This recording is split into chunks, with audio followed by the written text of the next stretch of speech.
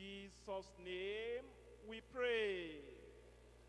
Pray for all other people that the Lord has appointed to be used during this service this morning, that there will be anointing upon them. I said there will be anointing of the Holy Spirit. There will be free calls in their utterances. And that as they come up, whether by means of choir ministration, search the scripture teaching, or the summary and question and answer, ask the Lord that the Lord will make use of them. Pray and talk to the Lord.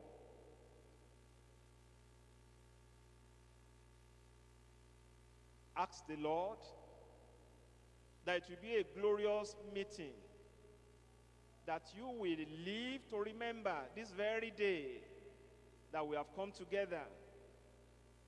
And in all our districts, locations, even those who are not here today, even right there too today, the Lord will speak and bless them.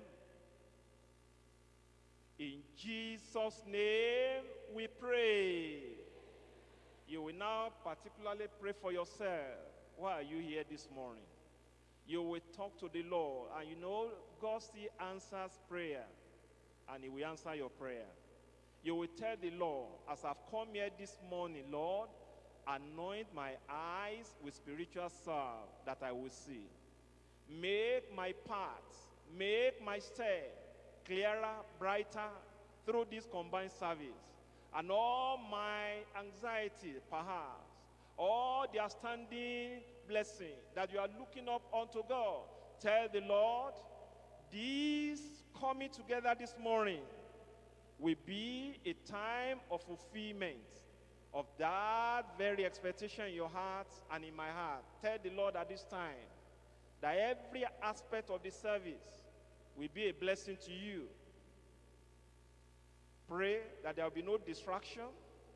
You will be able to focus and to concentrate on the things of God.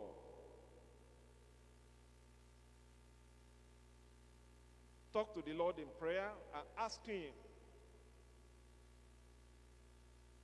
that He will speak to you and that you will regard, you will respect, you will receive the word with reference, with understanding. In Jesus' name we pray. Our Father, we thank you this morning for this very great privilege we have had to come together. And we pray as we begin the service now, we pray you will begin with us. Thank you, Lord, because we know you've answered. In Jesus' name we pray. We remain standing as we want to sing from our gospel hymn and song, number 103. Gospel hymn and song, number 103.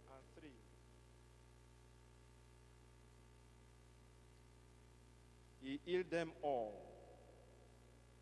The blind, the lame, the palsied, the sick in the body, and the weak in mind. Whoever came, no matter how afflicted, was sure a sovereign remedy to find. His word gave earth. His touch restored the vigor to every weary, pain-exhausted frame. And all he asked before he gave the blessing was simple faith in him from those who came. And is our Lord the kind, the good, the tender, less loving now than in the, those days of old? Or is it that our faith is growing feeble and Christian energy is waxing cold? Why do we not with equal expectation now bring our sick one to the Lord in prayer, right through the throng of unbelieving scruples, up to his very side, and leave them there? He never had refused in bygone ages, nor fear to take the chastisement away. Then why not ask it now? Instead of praying for patience to endure from day to day.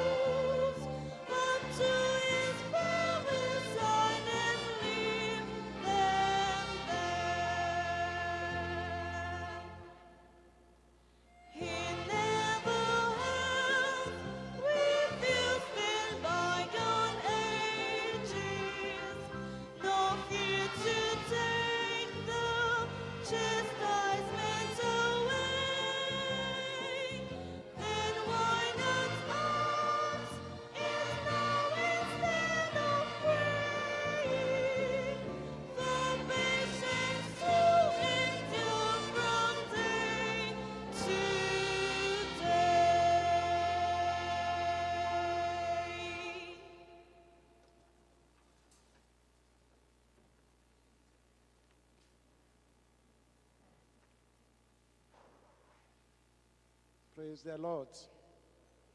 Shall we pray together? Our Father, we thank you so much for bringing us together to worship at your feet this morning. As we look at the scripture, we are asking that through your spirit, you will speak to every one of us in Jesus' name. And the grace to put into practice what you are teaching us, bestow on us all in Jesus' name. Thank you, Father, for the answer. For in Jesus' holy and mighty name we have prayed. Praise the Lord. This morning we are looking at a study titled Christ's Testimony of John the Baptist. Our text will be taken from the book of Matthew, chapter 11, from verse 1 to verse 30, Luke chapter 7, from verse 18 to verse 35. I will request a first reader to volunteer to come forward and read our text for, for, for us.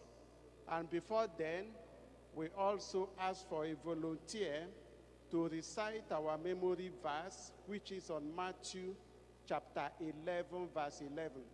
Any volunteer, please? Yeah, sister from the Korea, please help us. Thank you. Verily I say unto you, among them that are born of women, there are no reason a greater than John the Baptist. Notwithstanding, he that is least in the kingdom of heaven is greater than he. Matthew chapter 11, verse 11. Thank you so much. Do we have a volunteer to take our text now? Anybody from the chorister?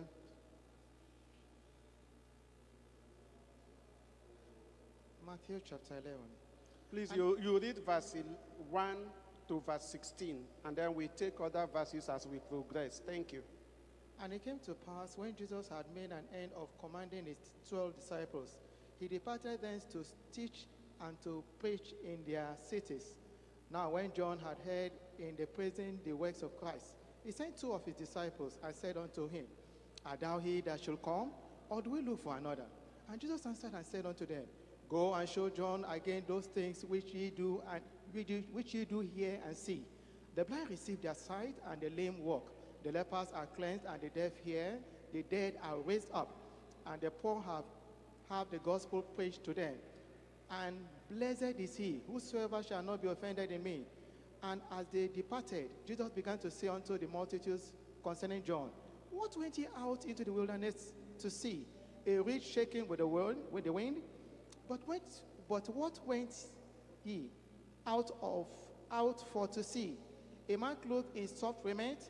Behold, they that wear soft clothing are in the king's houses. But what, we, but what went ye out for to see? A prophet? Yea, I say unto you, I'm more than a prophet. For this is he of whom it is written, Behold, I send my messenger before thy face, which shall prepare thy way before thee. Verily I say unto you, among them that are born of women, there had not risen a greater than John the Baptist. Notwithstanding, he that is least in the kingdom of heaven is greater than he. And from the days of John the Baptist until now, the kingdom of heaven suffered violence, and the violent take it by force. For all the prophets and the law prophesied until John. And if ye will receive it, this is Elijah, which was for to come. He that hath ears in to hear, let him hear. Thank you. Thank you. The ministry of um, John the Baptist presents a very rich lesson to all believers. John started his ministerial life at a time when there was so much spiritual dullness in the nation of Israel. He began to speak to them about the kingdom that is to come and the necessity of repentance uh, so that their sins can be remitted. In John chapter 1, verse 15, we see him saying, John bare witness of him and cried, saying, This was he of whom I spake. He that cometh after me is preferred before me, for he was before me. Verse 16, and of his fullness have all we received, and grace for grace. In verse 29 of John chapter 1, the next day, John seeth Jesus coming unto him and saith, Behold, the Lamb of God, which taketh away the sin of the whole world. John had a ministry, and his ministry was majorly to prepare the way of the Lord, to point the people of his time to recognize Jesus Christ, and that he did faithfully. We are going to consider the message under three subheadings. Point number one, we consider the imperative of evangelism and the identity of Christ. The imperative of evangelism and the identity of Christ. Point number two, we look at inspiring testimony by Christ concerning John the Baptist. Point number three, we consider inescapable reproach and warning against unbelief. Point number one, the imperative of evangelism and the identity of Christ. In Matthew chapter 11, reading from verse 1, and it came to pass when Jesus had made an end of commanding his 12 disciples, he departed. Let's take note of the word commanding. He didn't have to beg them. He didn't have to even persuade them. He commanded them to go out and do the work for which they were called. He didn't have to plead with them. He reminded them that evangelism is not optional for every one of us as believers. And we need to keep that in mind. Sharing the gospel is not something that we do voluntarily. It is something that we just have to do it no matter what is confronting us in life, wherever we are, or whatever is going on around us. I pray that the Lord will give us the grace to be faithful in fulfilling this great ministry of sharing the gospel, which is every believer's ministry. And then in verse 2, now when John had heard in the prison the works of Christ, he sent two of his disciples and said unto him, Art thou he that should come, or do we look for another? Are you the one we've been expecting, or do we look for another? John was doing his work, preaching the word of God. He had declared, Behold, the Son of God, Jesus Christ, that taketh away the sin of the whole world. What then brought about this question? How come John that have been telling us, Behold, the Son of God that takes away the sin of the whole world, is also the one sending his disciples to go and ask Jesus, Are you really the Messiah? Or do we? Now let's take note of the word we. John was not just speaking for himself, and that's why he used the word we. At that particular time, the children of Israel have actually been expecting the Messiah. But due to their spiritual dullness and lack of study or knowledge of the scripture, when the Messiah came, they didn't recognize him. They didn't recognize him for some reasons. Reason number one, they were expecting a Messiah, a political, powerful Messiah that will come and deliver them from the oppression of the Roman authorities. They couldn't reconcile that, their expectation, their wrong expectation, with the humble birth of our Lord Jesus Christ. They couldn't reconcile their wrong expectation with the humility of the life of our Lord Jesus Christ. They also couldn't recognize, couldn't reconcile their wrong expectation with Jesus' focus on preaching the kingdom of God and not addressing their own social and political needs. And so they were not sure. Then, I believe, or conceivably, John's disciples we are not left out of this wrong expectation that brought about feelings of disappointment. Let's not also forget that in the book of Matthew, chapter 4, verse 12, we read, Now, when Jesus had heard that John was cast into prison, he departed into Galilee. Matthew chapter 4, the mention of Jesus' arrest came up. But the details of why, sorry, of John's arrest, but the details of why John was arrested didn't come up until Matthew chapter 14. We don't know the duration between Matthew chapter 4 and Matthew chapter 14. John had been in prison and his life was under a threat. And we don't read anywhere between Matthew chapter 4 and Matthew chapter 14 where Jesus Christ did anything or said anything about how to get John out of prison. So, John himself and his disciples were wondering, You are the Messiah. And look at all that you are doing. Miracles are being performed, people are being raised from the dead. And here, the forerunner is in prison and nothing is being done. So, they sent to ask this question. John wanted his disciples also to hear directly from Jesus Christ and every other person that had this wrong expectation. And so the question was asked Are you the Messiah? Or do we, not only me as John, do we expect another? And eventually, Jesus gave the answer.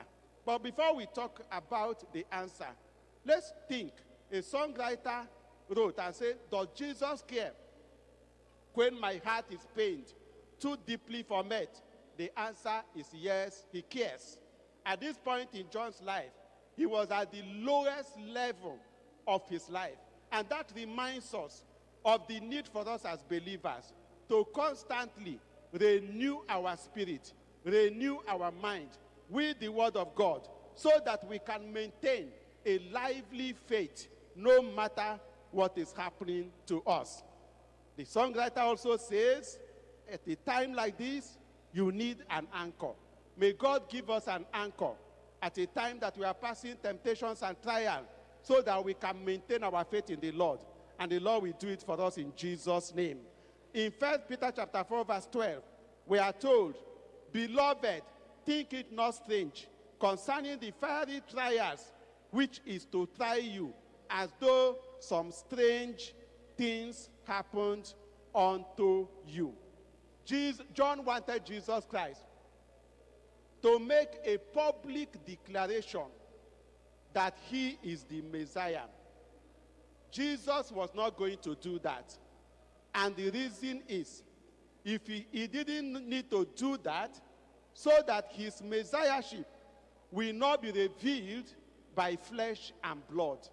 You know that later he asked his disciples, Who do men say that I am? And who do you, as my disciples, say that I am? And Peter made that de- great declaration You are Jesus Christ, the Son of God, the Messiah. And he told Peter that flesh and blood has not revealed this unto you. Jesus didn't want flesh and blood to reveal the fact that he's the Messiah to his hearers.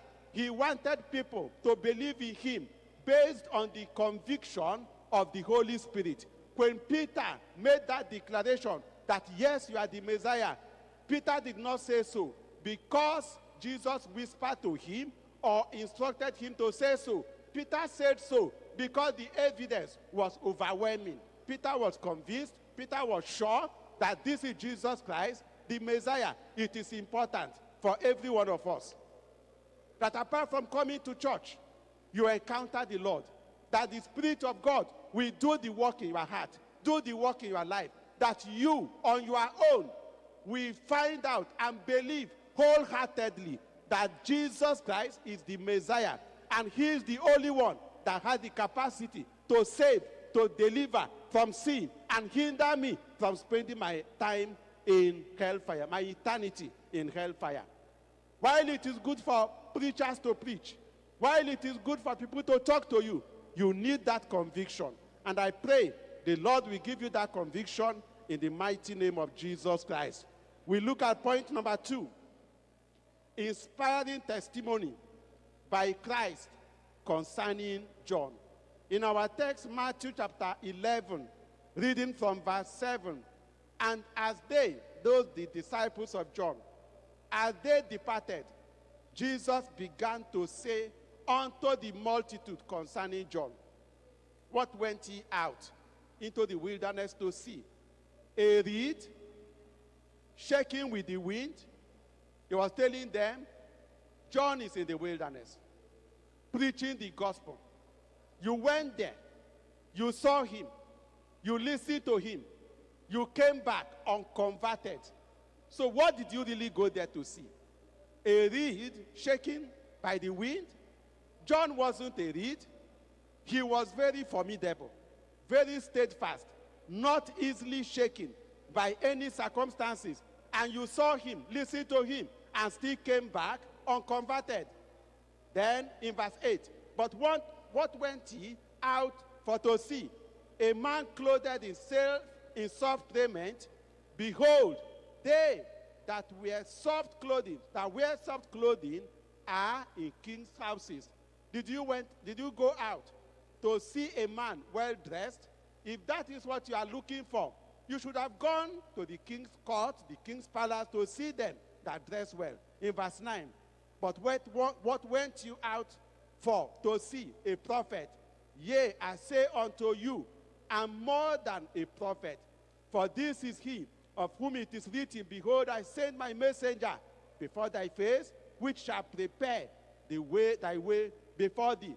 Then in verse 11 he says, Behold, I say unto you, among them that are born of women, there had not risen a greater than John the Baptist, notwithstanding he that is least in the kingdom of heaven is greater than he. He that is least in the kingdom of God, in the kingdom of heaven, is greater than John. What does that mean? John was great. However, John lived and died before the completion of the work Jesus Christ did on the cross of Calvary. As great as he was, he falls under the prophets that existed, that served under the old covenant.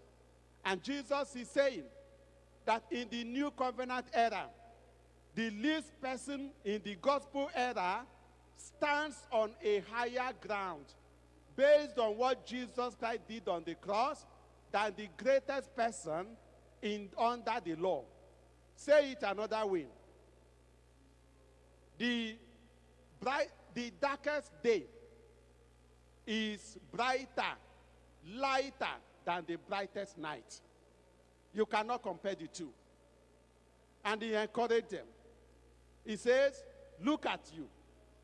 If you get born again now, you are better, status wise, spiritually speaking, than those people that lived under the law. I pray that the Lord will minister to us based on what John said, rating the least in the kingdom of heaven above John the Baptist. What should be our attitude towards the gospel? Any answer? How should we readily, joyfully, happily embrace the gospel? The Lord has made it clear to us that we need to embrace the gospel because of how important it is to us. And then he goes on to say, in verse 12, after those days of John, and from the days of John the Baptist until now, the kingdom of heaven suffers violence, and the violence take it by force. The kingdom of God can never suffer anything. The violence referred to here is a holy violence. John preached. Jesus preached. And people who were never expected to accept the gospel, they accepted the gospel, and with eagerness and with intensity, they were rushing into the kingdom of heaven. While the Jews, who ordinarily normally thinks the kingdom belonged to them, were there doubting and languishing in unbelief. And Jesus said that the people that are rushing into the kingdom are like the armies that are invading a city and they are getting saved. And some of you are still here, not saved. May God have mercy on us. May God have mercy on his people. You are not a Christian because of how long you have been in the church. You are not a Christian because of whether you were born in the church.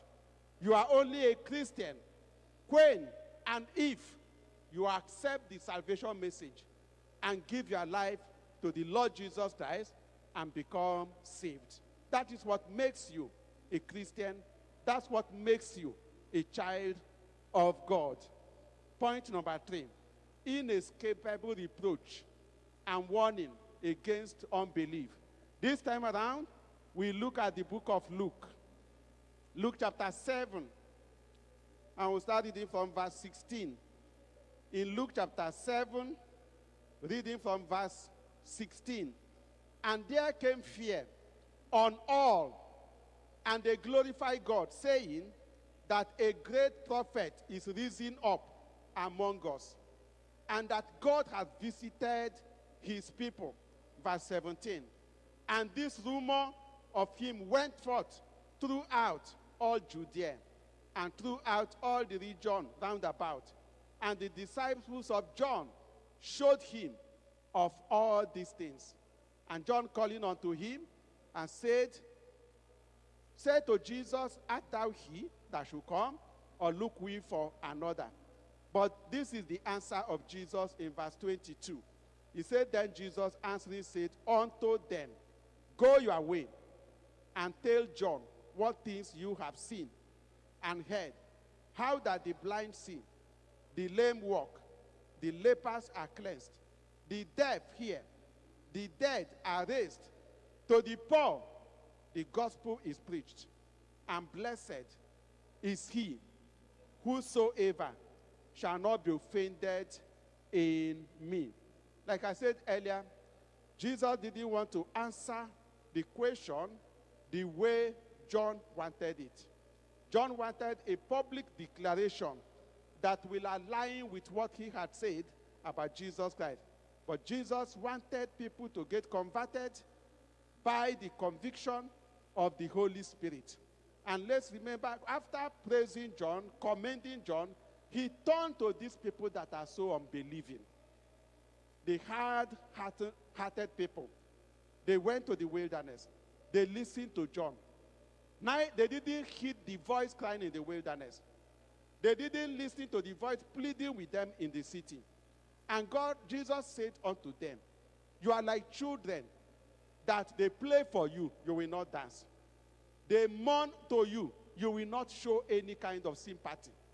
You are not cooperating. You are neither here nor there. And in John chapter 3, verse 36, there the Bible tells us, He that believeth on the Son had everlasting life. And he that believeth not the Son shall not see life, but the wrath of God abideth on him. These people, they thought that they were wise. And as you continue reading our text, you discover that he told them that wisdom will be justified by his children, meaning the wisdom you think you have that is keeping you away from accepting the message from God, that wisdom will be justified at the end of the journey, at the end of time, by the fruit it produces for you and on you. Wisdom is justified by his children. They criticized John for not drinking and eating with other people. But when Jesus came and was eating and drinking with people, they also criticized him for doing that. Those who don't want to get saved, we always find excuse to reject both the message and the messenger. But for us that are in here in this church this morning, you've been attending programs, you've been hearing messages. Are you like these people that neither we believe John or believe Jesus and they think they are wise. Wisdom is justified by his children. What you think is wisdom today will be justified at the end of the time by what it will bring your way. So, in John chapter 3, verse 36, we want to round up from there. He said, He that believeth on the Son had everlasting life. And he that believeth not the Son shall see life, shall not see life, but the wrath of God abideth on him. The question is, why should you allow the wrath of God to abide on you?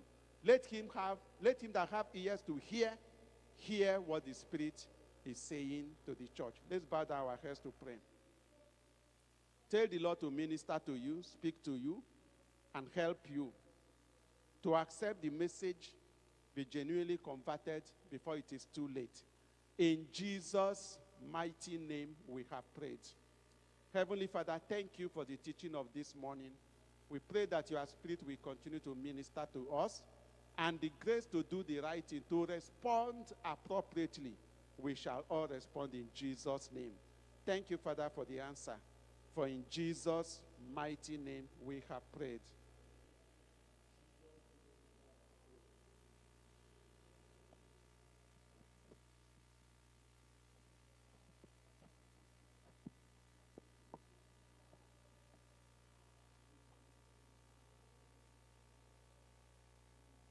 We have had this morning an elaborate teaching on the, the testimony of the Lord Jesus Christ concerning John the Baptist. The teaching has been very elaborate, but uh, if there's still any question, uh, areas we need to uh, give more illumination, give more understanding, you are very free to come up and um, ask your question. So if you have any question to ask, can you please signify by raising your hand? You have any question? If I am not seeing you, please um, just step to the front from wherever you are so that we can attend to the question. Okay, that our brother in blue, quickly. In in Matthew chapter 11, verse 11, it says, Verily, verily, I say unto you, among them that are born of women, there has not arisen a greater than John the Baptist. Notwithstanding, he that is least in the kingdom of heaven is greater than he. From uh, this verse, our Sunday scripture teacher made a statement that the least person in the gospel era stands higher than John the Baptist. When I looked at this verse, I'm confused, but uh, I, I'll be grateful if uh, there is a scriptural backing to really explicitly uh, elucidate this verse to make me understand why such statement is tenable. Then, secondly, some people also say that uh, uh, John the Baptist, uh, when you want to preach to some people, they will say, don't talk to leaders or people in authority. That John the Baptist told uh, uh, Herod uh, that why did he take his brother's wife? That that was the reason why he was incarcerated. And as such, some as an, a, preacher, you should be cautious while uh, preaching to leaders. So, uh, uh, are you saying that John the Baptist made a mistake by preaching to John the by preaching to the king, or at the same time, why didn't Jesus Christ come to the rescue of John the Baptist? Thank you very much. Um, is that still, maybe we'll take one more before we, um, any sister there so that we can do a balancing? Any sister wanted to ask a question? Okay, our brother in the front here. Good morning, sir. Sir, the I want to ask this simple uh, a question because of uh, something I've experienced.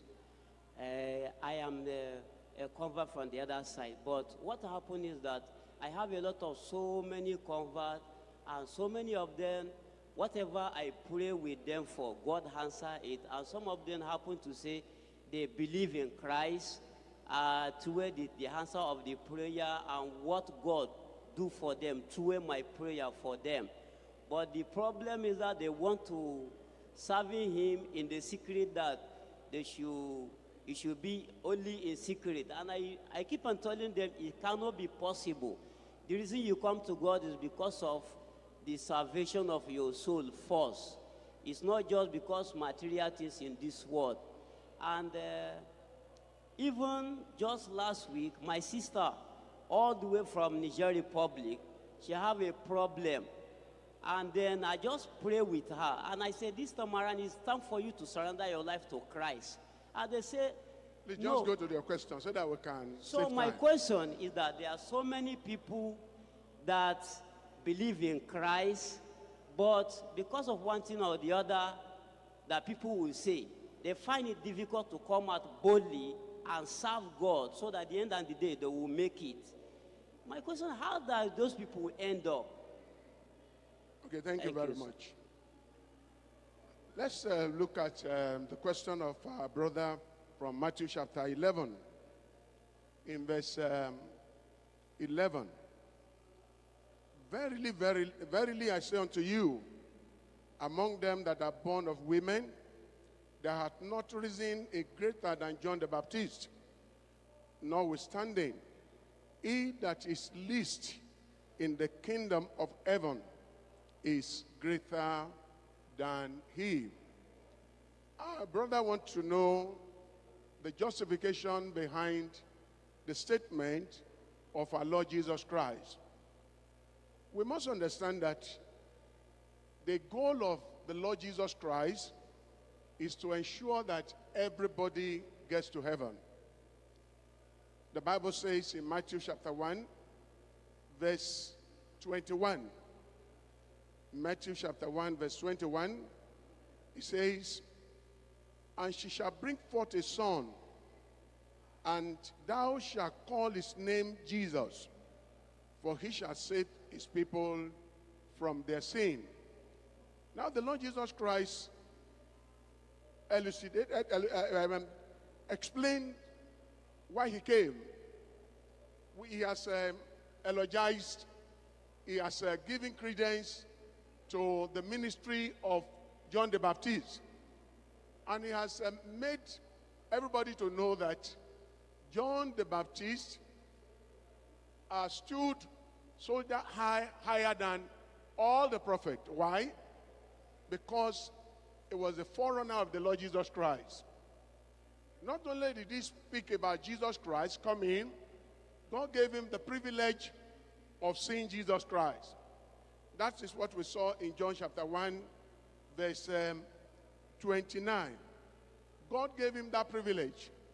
He saw Jesus Christ, and then he didn't just uh, preach Jesus that was to come, but Jesus Christ that actually came and he saw and he was able to point Jesus to other people. In verse in John chapter 1, verse 29, and the next day John seeth Jesus coming unto him and said, Behold the Lamb of God, which taketh away the sin of the world.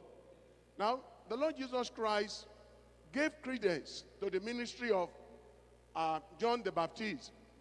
And he made everybody to know that this man being a forerunner, being the person who heralded the coming of the Lord Jesus Christ, was given the privilege to see him face to face.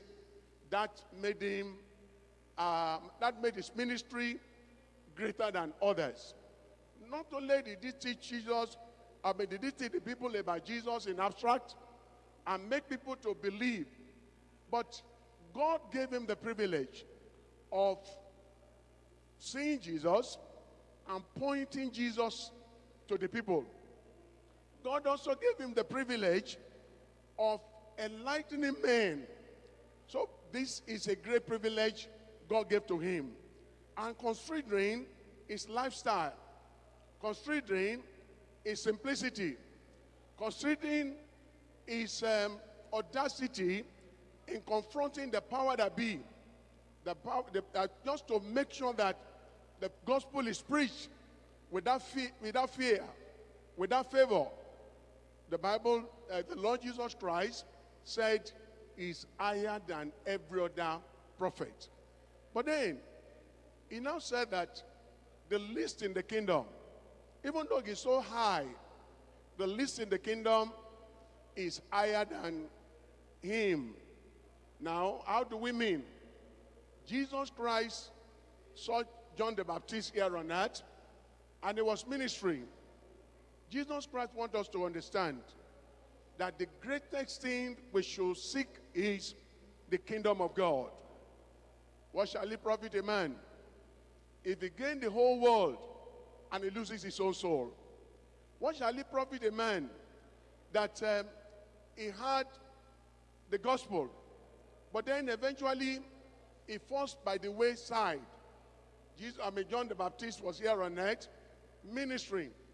The Lord Jesus Christ said, Those who are born by the grace of God, those by the grace of God are brought into the kingdom and they continue in the gospel and they endure to the end and eventually get to the kingdom of God.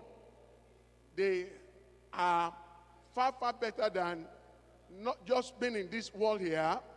He's talking about uh, Christian triumphant believers, not just the militant believers. If somebody, somebody can be very militant, somebody can be very, um, uh, um, can be very courageous, but the end justify the means. Getting to heaven should be our goal. Getting to heaven should be our desire. We must get to heaven. When we get to heaven, then we have won all. That is why he said, comparatively, John is here. That is not to say that he's doubting that um, John will not make it to heaven, but he wanted everyone to know that no matter what you do here on earth, if you, are, if you cannot get to heaven, then you have not actually achieved anything. Because the goal of the Lord Jesus Christ is to take men from this world and take him to heaven. The militant believer must be part of the triumphant church. While we are here on earth, we are militant. We are working for the Lord. Just like we saw uh, Jesus Christ uh, drew a, a cue from the life of John the Baptist. He commended him for his uh, tenacity. He commended him for his fervency. He commended him for the, I mean, the way he handled the work of God without let or without any fear. But then he now said, You that are hearing me, you must understand that getting to heaven is very, very important. In the book of First Corinthians, chapter 4, let's quickly look at um, um, verse 20.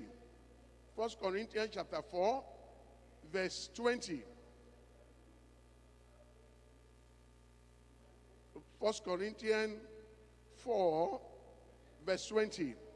It says, For the kingdom of God is not in word, but in power.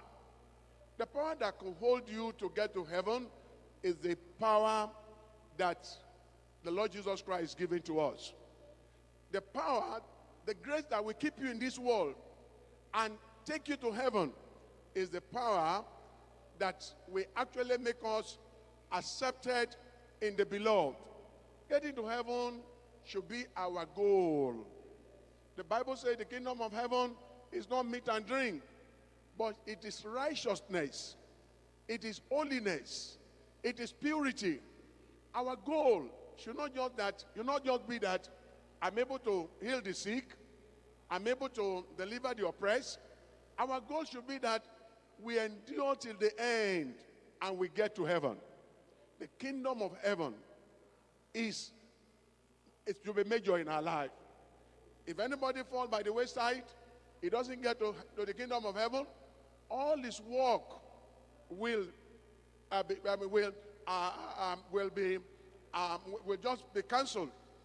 All his work will not be remembered.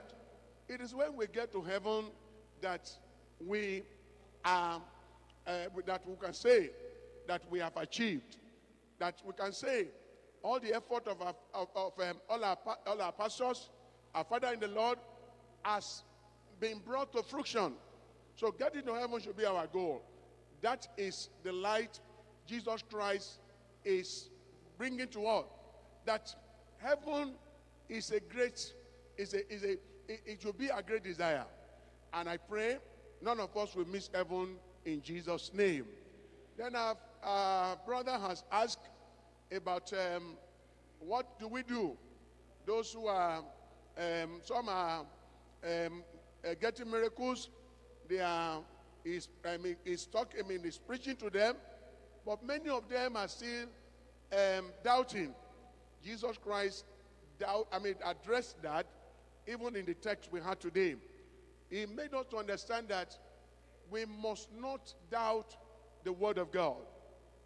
What was the undoing of um, Sodom and Gomorrah and all these places?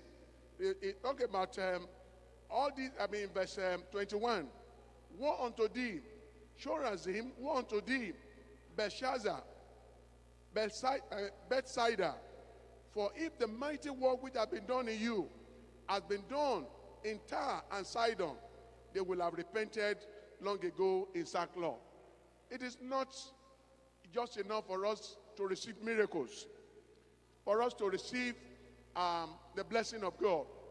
It is the, our major goal is all this blessing should make us to accept Jesus Christ, believe in Him, trust in Him. And when we do this, the blessing of God will be upon our lives in the mighty name of Jesus Christ. We have, um, um, we- have learned this morning, but we have seen in the life of um, our Lord Jesus Christ that He had time for His disciples and He had time for the congregation. That is what we saw in uh, Matthew chapter 11, verse 1. And it came to pass when Jesus has made an end of commanding his 12 disciples, he departed then to teach and preach in their cities. What a great uh, ministry that resembled that of Christ that we have in our Father in the Lord here. When he goes to any place, there'll be time for the ministers. There should be meat for the ministers. There should be time to develop the people of God. Just like we are hearing today, that the life of John the Baptist was um, highly commended. And Jesus Christ wants us to look at his consistent, his commitment, his um, loyalty, his faithfulness, his ruggedness. And that is why in the morning at this uh, Global Crusade, we have ministers' conference. Just like what Jesus Christ did here. He had time for the disciples. If you are a minister and you are missing this program, you are not uh, doing yourself any good. Because that is the ministry of Jesus. There must be, those who are at the forefront must be developed, must be kept. So Jesus Christ spoke to the disciples, and then he now came to the congregation. He now spoke to the multitude. I pray that God will continue to bless this ministry. And we will continue to see the power of God be manifested in the mighty name of Jesus Christ. And all of us should know that there is nothing we're doing here that does not follow the pattern of the ministry of the Lord Jesus Christ. Believers, we must know that whether we are commended or not, whether we um, um, anybody uh, speak well of us, let us know what we're doing.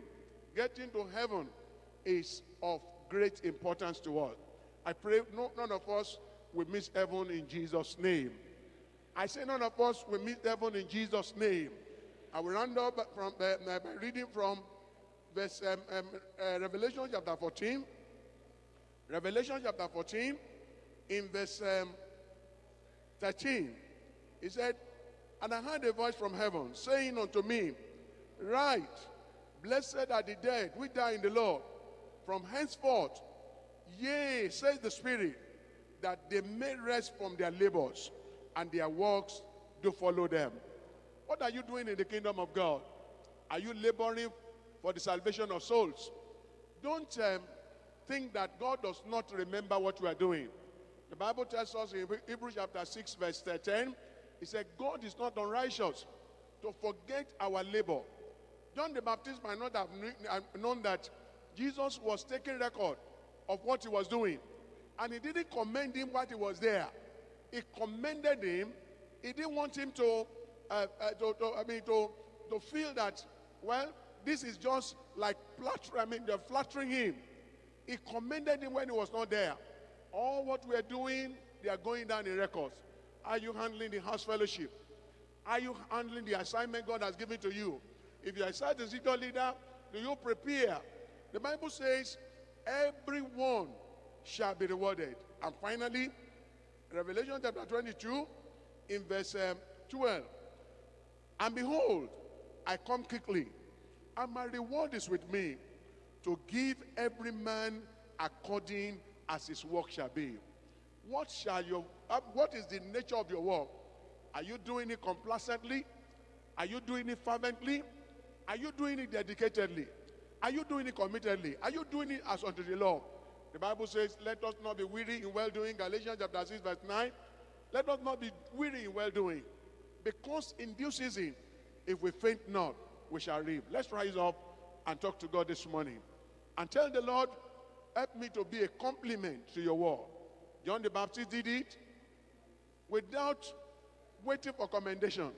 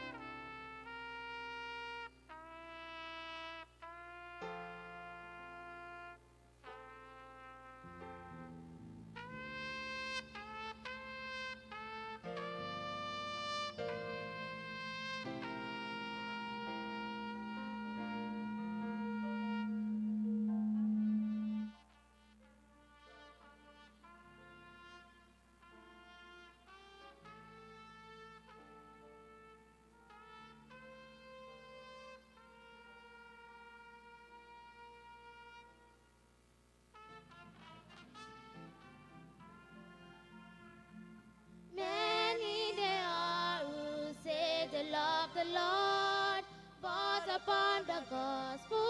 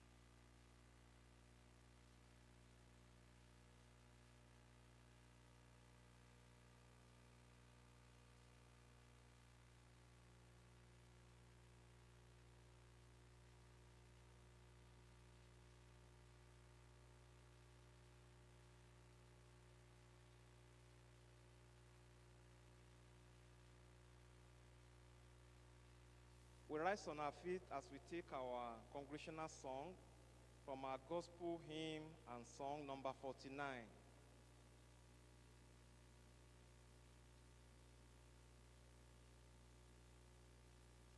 Gospel hymns and song number 49.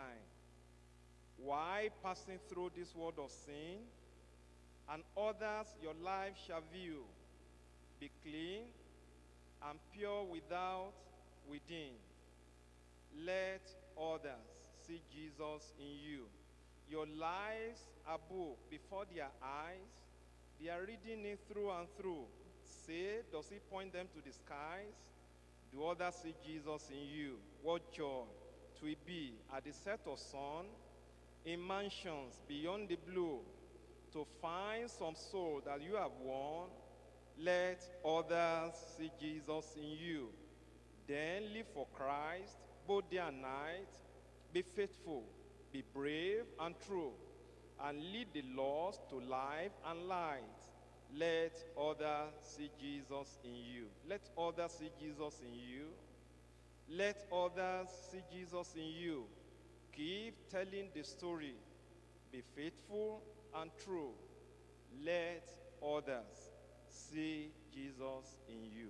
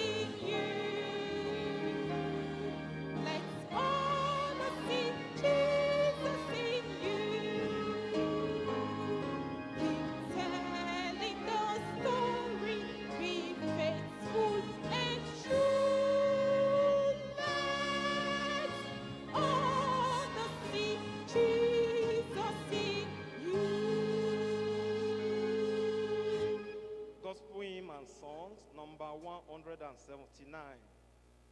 179. I'm pressing on the upward way.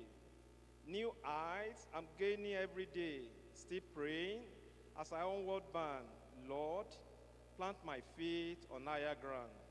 My heart has no desire to stay where doubts arise and fears dismay.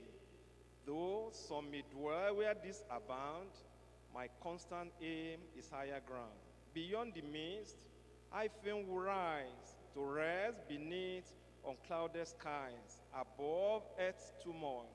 Peace is found by those who dwell on higher ground. I long to scale the utmost heights, though rough the way, and add the fight. My song, while climbing, shall resound. Lord, lead me onto higher ground. Lord, lead me up the mountainside. I dare not climb without my guide, and heaven gain, I gaze around with grateful heart from higher ground. Lord, lift me up and let me stand by faith on heaven's stable land, where love and joy and light abound. Lord, plant my feet on higher ground. Thank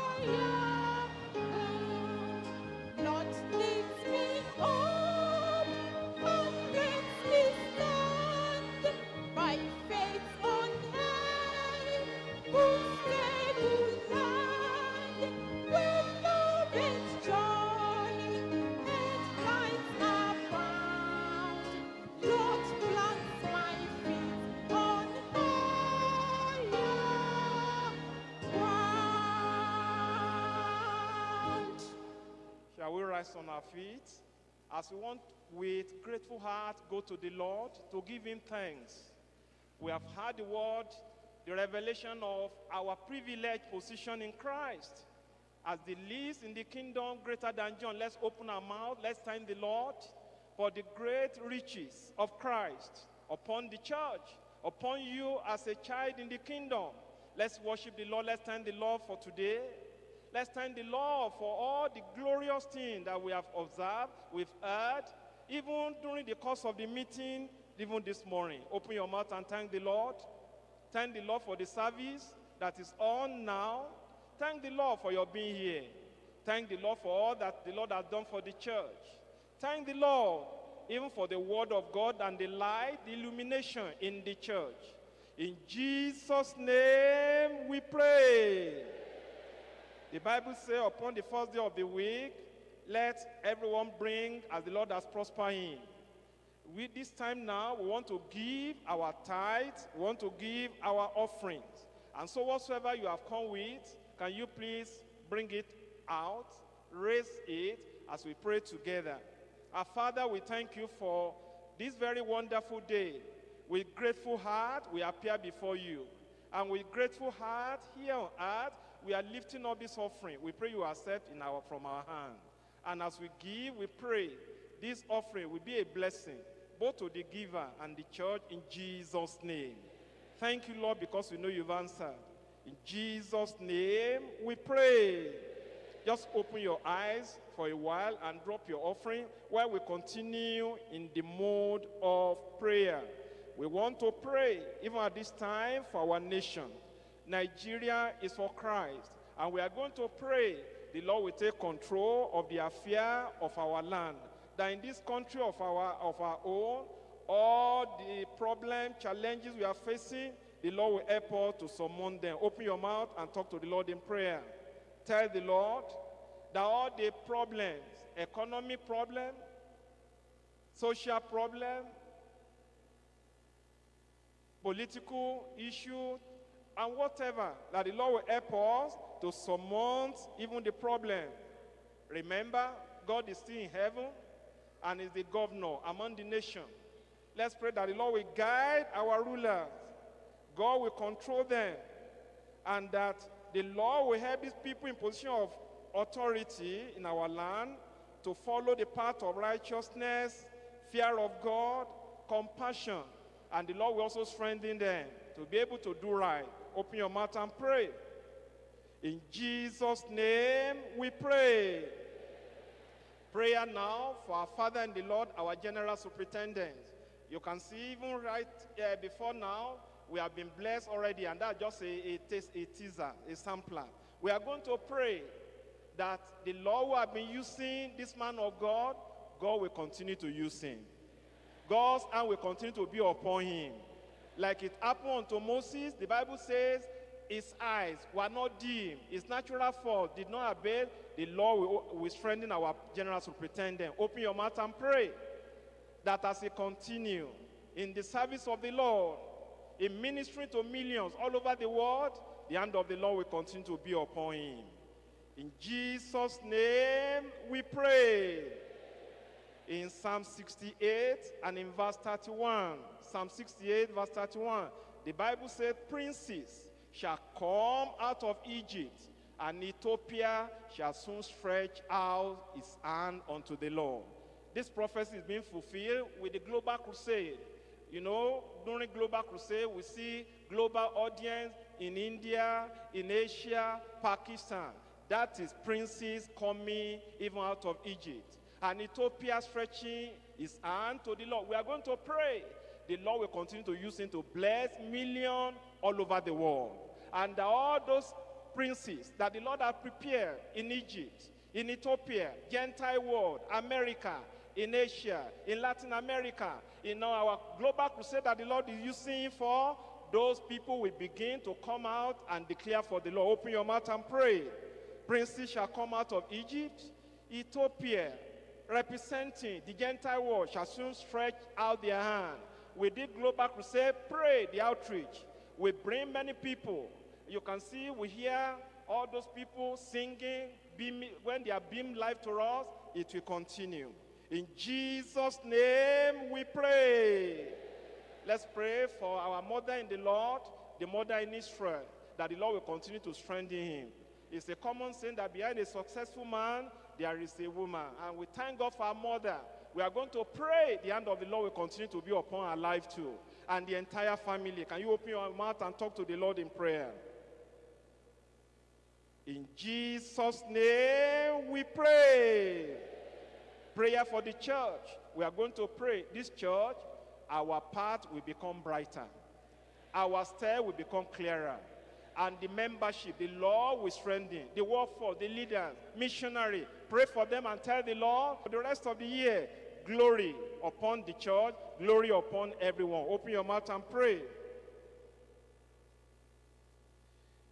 Ask the Lord to let his hand be upon them all in the church. In Jesus' name we pray. Lastly, we need to pray. The Bible says, Is it nothing to you? As we see these youth that are fainting, we want to pray for the youth in the church, youth in our nation, and other places that are roaming the street. In Jesus' name we pray. Father, we thank you, and we pray as you continue, you continue with us.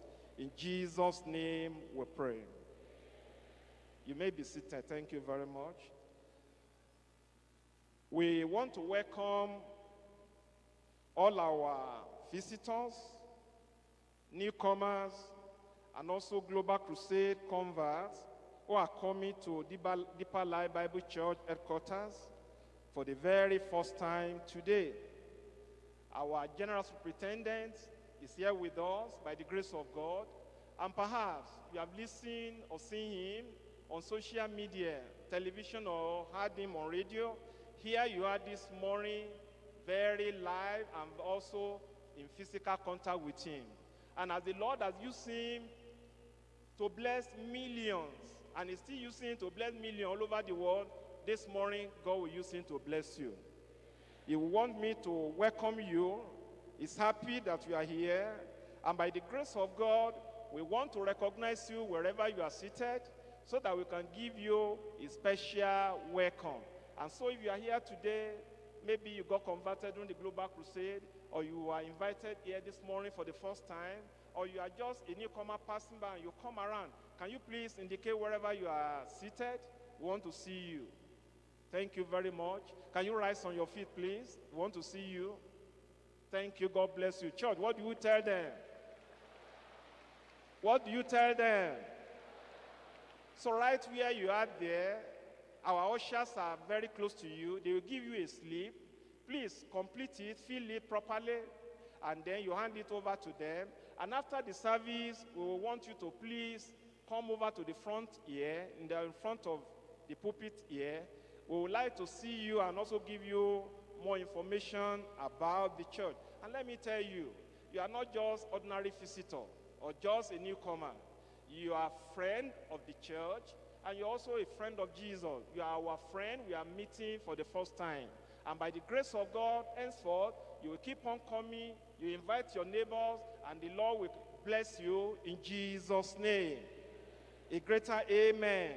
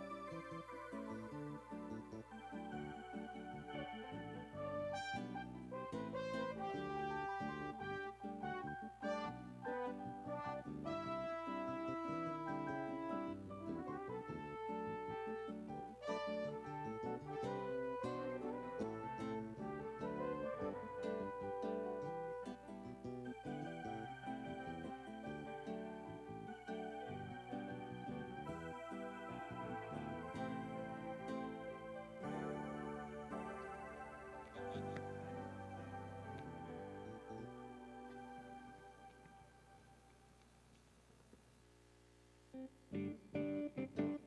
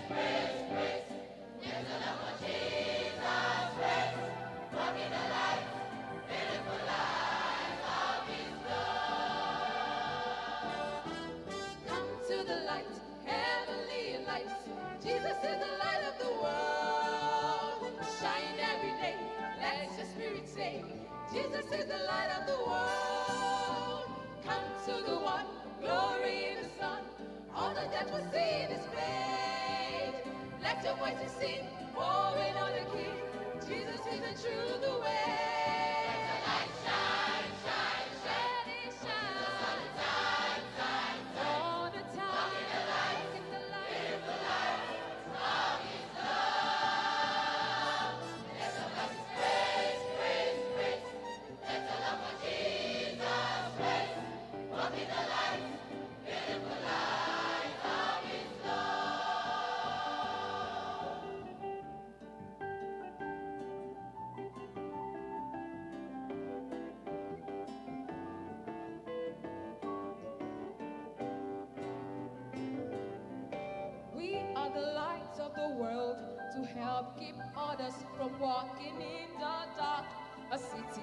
on.